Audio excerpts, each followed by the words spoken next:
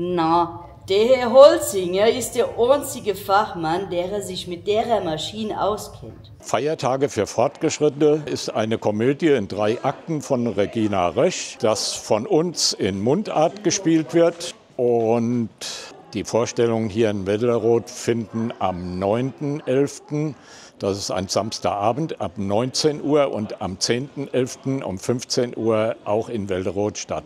Die dritte und vierte Vorstellung am darauffolgenden Wochenende, da freitags und samstags jeweils abends. Anschließend spielen wir nochmal in Naschstetten und das ist im Januar, also nach Weihnachten, am Samstag 11.01. um 19 Uhr abends und am Sonntag 12.01. 15 Uhr in Nastetten im Bürgerhaus. Karten können bei Silke Kern hier in Wilderoth erworben werden. Also es gibt die Show des Jahres.